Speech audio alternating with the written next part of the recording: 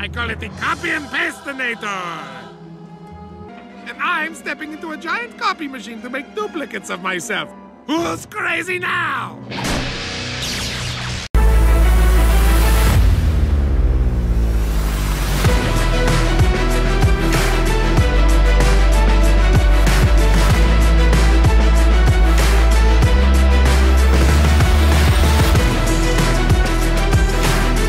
A few moments later.